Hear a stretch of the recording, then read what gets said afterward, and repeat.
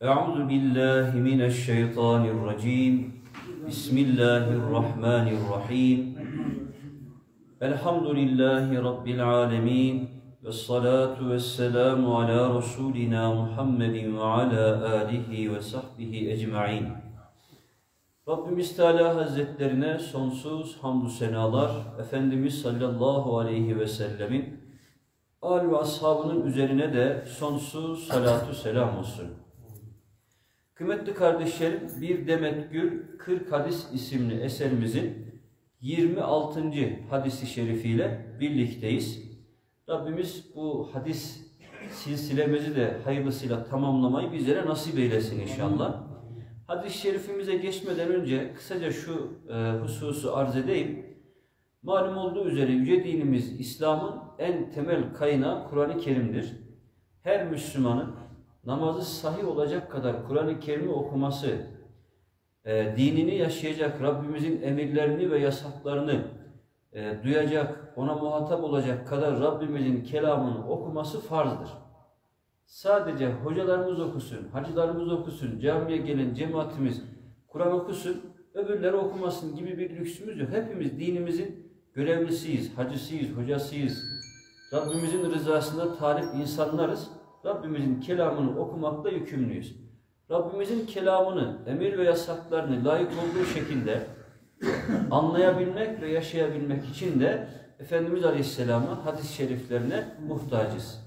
Efendimiz Aleyhisselam olmadan bir usul dairesince tabiri caizse Kur'an-ı Kerim'i okumadan, anlamadan dinimizi yaşayamayız kardeşler. Yani Efendimiz devreden çıktığı an herkes kendi kafasına, kendi beklentisine, kendi menfaatine göre bir din şekillendirir. Sünnet-i seniye bizim tabirimi mazur görün, dinimizin sigortası gibidir. O yüzden hayat ile dinimizin emirlerini, yasaklarını nasıl buluşturacağız? Bunu Efendimiz Aleyhisselam'ın hadis-i şeriflerinde görmemiz lazım. Hadis külliyatları var. İşte Buhariler, Müslimler, Kütüb-ü Sitteler, Tisalar, işte Müsnetler, şunlar bunlar. Ömrümüz olduğu sürece Efendimizin hadisi şeriflerini takip edeceğiz kardeşler. E hocam ben okuyorum ama bazı hadis-i şerifleri anlamıyorum. E biz de bazen okuyoruz, tam çözemiyoruz. Ne yapacağız? Şehirlerine bakıyoruz, daha böyle yetkin hocalarımıza gidiyoruz. Hocam şurada Efendimiz Aleyhisselam ne buyurmuş? Bize bir izah edin diyoruz. Ama neticede Efendimiz Aleyhisselam'ın ayak izini ancak böyle takip edebiliriz. Başka türlü olmaz kardeşler. Biz de bu niyetle e, diğer 40 hadis şerhlerimiz vardı. 3-4 tane. Onlar bitti. Şimdi böyle bir hadis kitabımızda 26. hadis şerifimize gelmiş olduk. Bu hadis şerifimiz değerli kardeşlerim İmam Bukhari ve İmam Müslim Hazretlerinin sahihlerinde yani sahihayında yer alan bir hadisi şerifimiz ee, Ebu Mes'ud radıyallahu anh'tan hadis-i şerifimiz naklediliyor. Metnimizi bir okuyalım. An Ebi Mes'udin el-Ensariyi anin Nebiyyi sallallahu aleyhi ve selleme kal Ebu Mesud el-Ensari radıyallahu anh'tan Allah Resulü aleyhisselamın şöyle buyurduğu rivayet ediliyor. İza enfakal muslimu nefakaten ala ehlihi bir kimse ailesine infakta bulunursa ve huve yehtesibuha fakat bunu ne için yapıyor? Allahu Teala'nın rızasını kazanmak niyetiyle yapıyor. Hani biz Ramazan-ı Şerifimiz yaklaşıyor. Ben sâme Ramazâne imanen ve ihtisaben diyoruz ya. İnanarak ve sevabını Allahu Teala'dan umarak kim Ramazan orucunu tutarsa geçmiş günahları bağışlanır.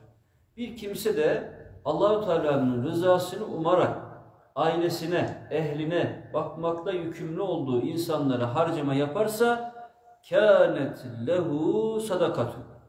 Bu onun için bir sadaka olur. Hadis-i şerifimizde Efendimiz Aleyhisselam'ın önce bir ehil yani aile kavramını gündeme getirdiğine şahit oluyoruz. Aileyi geçindirmekten Efendimiz Aleyhisselam bahsettiler. Bir de ibadet aşkıyla çalışmaktan bahsettiler. Ana kavramlar bunlar. Tabi takdir edilecektir ki anne babalar, eşler, çocuklar, ailenin temel unsurları olan bu efendim aile fertleri bizim dünyada mutluluğa, huzura ulaşmamız için e, işte kurduğumuz yuvaların, o yuvalardaki efendim e, aile olma bilincinin temel taşlarıdır. Şimdi eşimiz, çocuğumuz, anne babamız, işte amcalar, teyzeler, dayılar neyse e, bazen küçük aile modelleri oluyor, bazen geniş büyük aile modelleri oluyor. Ama neticede aile fertlerinin birbirlerini sevmeleri ve bu sevgiden kaynaklanan karşılıklı bir takım görevleri var. Bu görevleri yerine getirmeleri gerekir. Şimdi diyelim beyefendi evin geçimini sağlayacak. Çalışacak, helalinden kazanacak, eşine, çoluğuna, çocuğuna bakacak. Bu arada hanımefendi çocuklarının efendim e, işleriyle, evinin işleriyle, e, çocuklar işte okuludur, e, üzerlerine düşen vazifeler neyse bunlarla meşgul olacak ki bir sistem dahilinde aile e, devam etsin. Şimdi bütün roller, bütün efendim e, haklar, görevler, sorumluluklar birbirine karışırsa e, şimdi yuva kurmak günden güne zorlaşıyor değil mi? Şimdi efendim eşya alacaksınız, düğün yapacaksınız. E, şimdi helalinden olsun, temizinden olsun diye uğraşacaksınız. Zaten e, ekonomik olarak e, zorluklar var. Bir de böyle aile içerisinde haklar, görevler ve sorumluluklar bakımından zorluklar çıkarsa aile müessesesi daha da zedelenir. Halbuki aile değerli kardeşlerim bir yuva kurmak, çocuk sahibi olmak, aileye bakmak, onlar için harcama yapmak dinimizin ibadet olarak gördüğü bir iştir. İbadet sadece camide namaz kılmak değildir kardeşlerim İslam'a göre. Efendim oruç tutuyoruz, hacca gidiyoruz. İbadet sadece bunlar değil. Başka bir hadis-i şeriflerinde Efendimiz Aleyhisselam bir kimse ailesinin rızkını temin etmek için evinden çıksa helalinden kazanayım, helalinden yedireyim aileme, eşime, çoluğuma, çocuğuma bu niyetle evinden çıksa bu kimse evine dönünceye kadar Allah yolunda cihad ediyormuş gibidir buyuruyor. Demek ki Allah yolunda cihad etmek sadece savaş meydanlarında kılıç sallamak, düşmana efendim e, müdahalede bulunmak demek değil. Çok geniş bir kavram cihat kavramı. O yüzden ne yapmamız lazım? Güçlü toplumların oluşabilmesi için onu da izah etmeye çalışacağım. Güçlü aile, güçlü toplum ne demek? O toplumun en küçük birimi olan ailenin de güçlü olması gerekiyor. Aile güçlenirse toplum güçlenir. Toplum güçlü olursa içeriden ve dışarıdan bir takım saldırılar, ihanetler, yanlış şeyler gelse bile toplum ve aile olarak buna direnç gösterebiliriz. Ama aile zayıflar, dolayısıyla toplum zayıflarsa adam Çanakkale'den memleketimize giremez ama çanak antenden evimizin içine girer. Biz bakarız ki Allah Allah benim oğlum böyle şey yapmazdı. Benim kızım şöyle bir şey söylemezdi. Ya bizim hanımda bir değişiklikler var veya bizim beye ne oluyor da böyle bir garip garip bir şeyler söylüyor veya garip şeyler yapıyor demeye başlarız. Şimdi düşünelim memleketimizin etrafını efendim bizi gerçekten bir ateş çemberi içerisine alıyor dünya değil mi? Suriye'ye bakıyorsunuz öyle, Irak'a bakıyorsunuz öyle, Ermenistan'a bakıyorsunuz öyle. Ee, şimdi bizi eğer biraz şöyle gözlerine kestirseler, şu bizim aile yapımızı biraz bozduklarını, vatan, bayrak, millet sevgimizi efendim e, düşürdüklerini biraz hissetseler hiç gözümüzün yaşına bakmayacak adamlar. Ama ne oluyor? Adam şimdi 15 Temmuz gibi acı bir tecrübe yaşadık. Rabbimiz bir daha yaşatmasın böyle acı tecrübeleri. Şimdi baktık ki e, kardeşimizin ibadeti zayıf olabilir. Amellerinde zayıflık olabilir. Hatta bazı ahlaki zafiyetleri bile olabilir. Ama söz konusu dini, imanı, vatanı, bayrağı olunca bakıyorsunuz aslan kesiliyor. İçinden bir mücahit çıkıyor. Adam işte diyorlar ya içki sofrasından kalkıyor. Ya ne oluyor? Vatanı memleketi mi elimizden alıyorlar? Adam şehit de olabilir. Hiç kimseyi kınamamak lazım kardeşler. Efendim sen açıksın, sen kapalısın filan. Biz Rabbimizin emirlerini aktarıyoruz, aktarmak zorundayız. Ama kimseyi kınama hakkımız yok. Kimde imanın, kimde paranın olduğu belli olmaz demiş atalarımız değil mi? O yüzden aileyi güçlü tutmak ne demek? Aileyi milli ve manevi değerlerle beslemek demek kardeşler.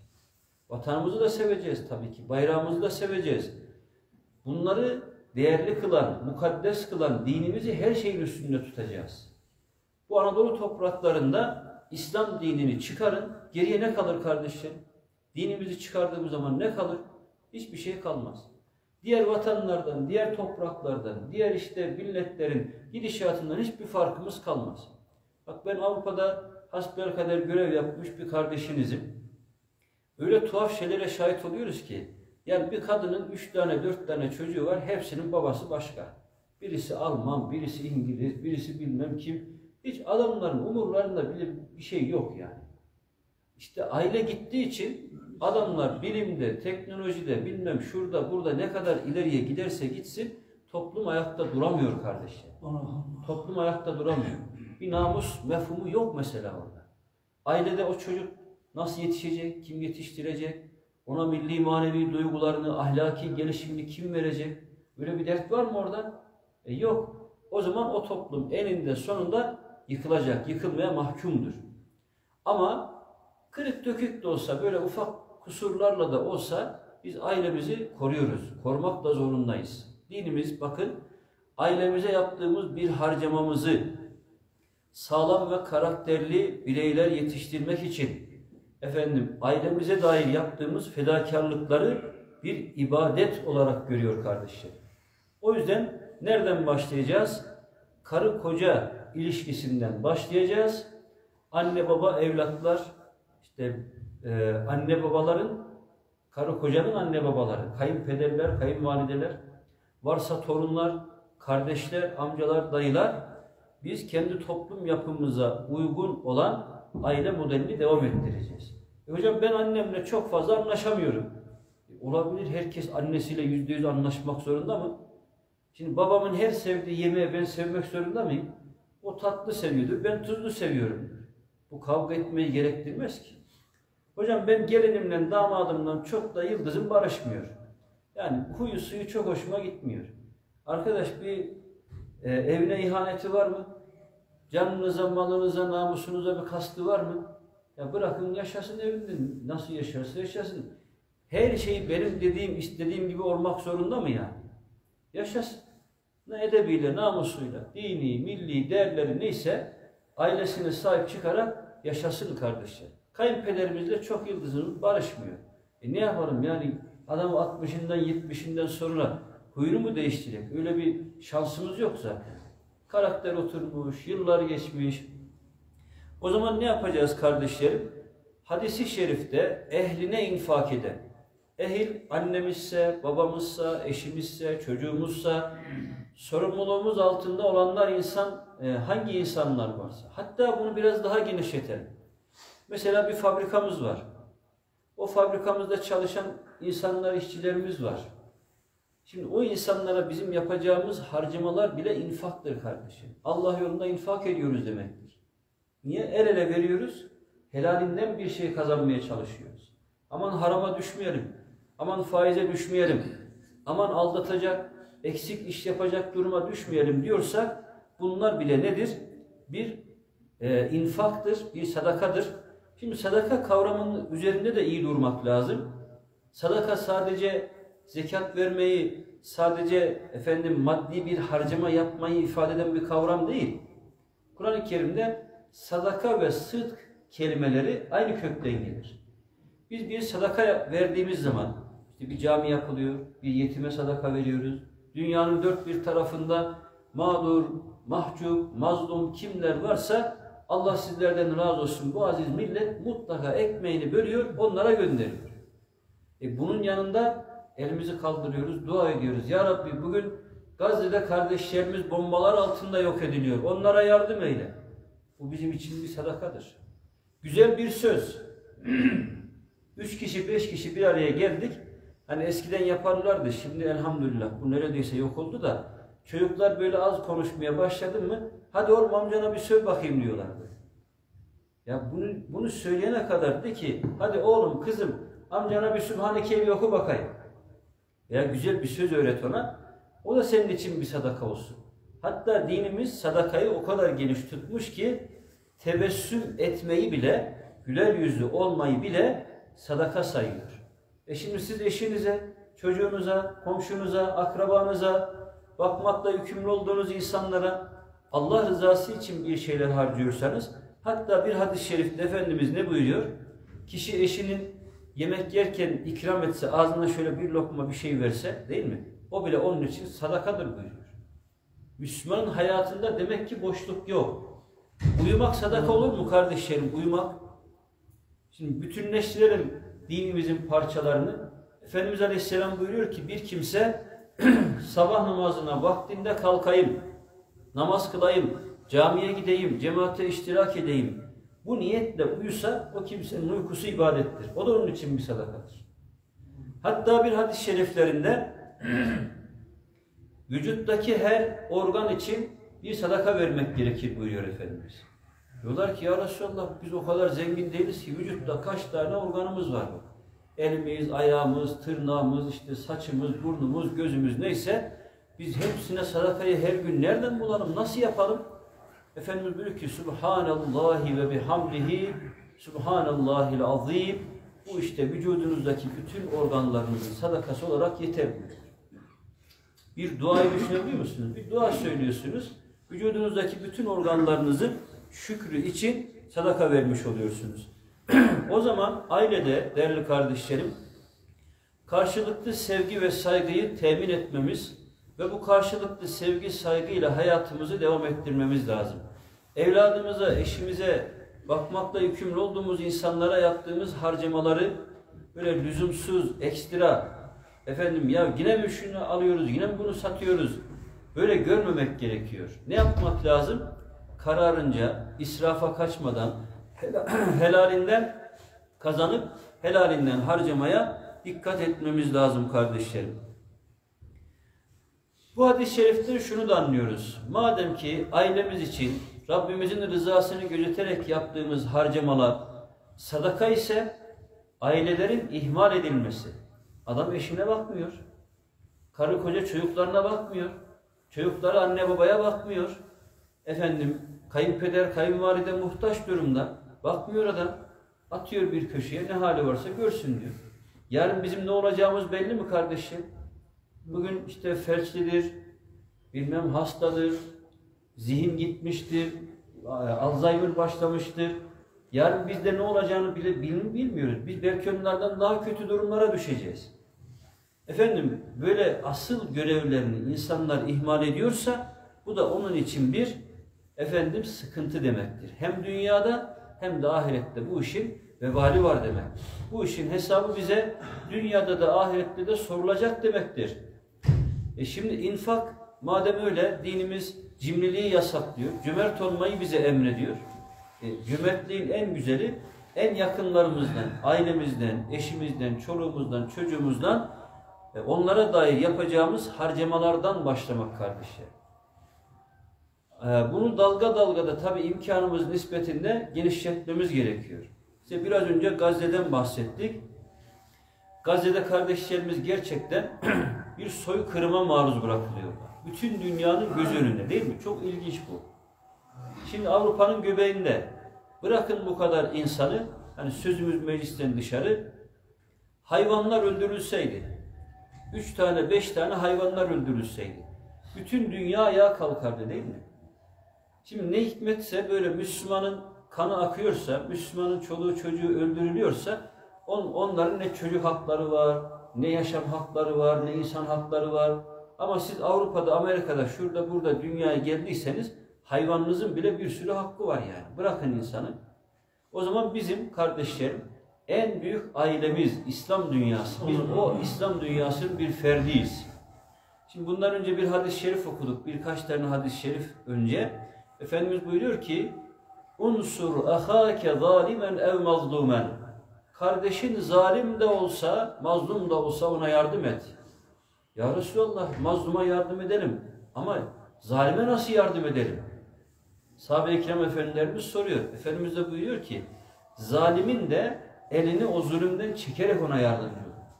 Müslüman mı? Bak zalim bile olsa kardeşimizin yanında olmamız lazım. Şu anda Gazze'deki kardeşlerimizin mazlumluklarını bir düşünelim kardeşler. Yani geçen bir video izledim. Yani gerçekten insanın uykularının kaçmaması, iştahının gitmemesi mümkün değil yani. Daha 10 yaşlarında bir çocuk bir kardeşini bombalar altında parçalanmış bir bedeni. Böyle etini topluyor, kemiğini topluyor, kanını topluyor, bezlere sarıyor. Daha çocuk kendisi 10 yaşında. Yani Allah aşkına bizim e, kahvaltımızdan, öğlen yemeğimizden, akşam yemeğimizden, uykumuzdan bunlar bir şey götürmesi gerekmez mi kardeşlerim?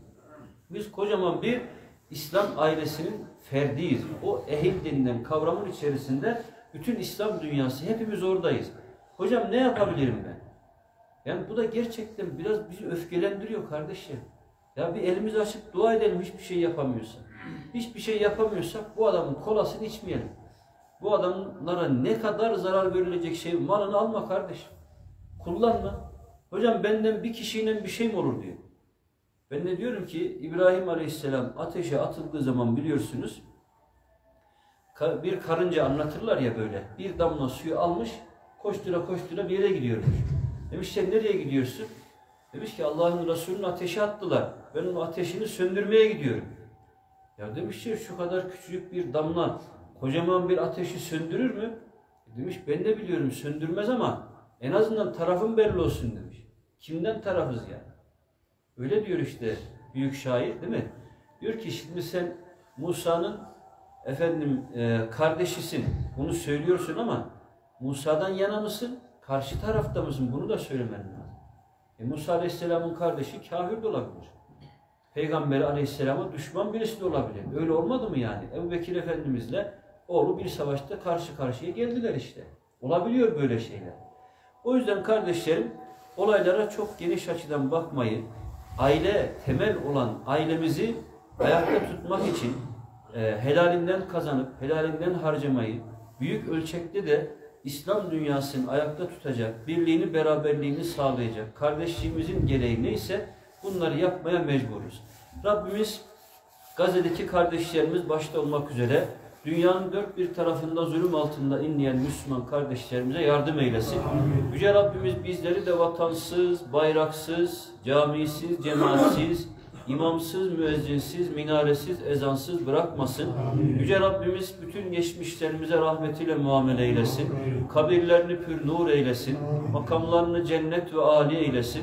Onları da bizleri de Efendimiz sallallahu aleyhi ve selleme komşu eylesin.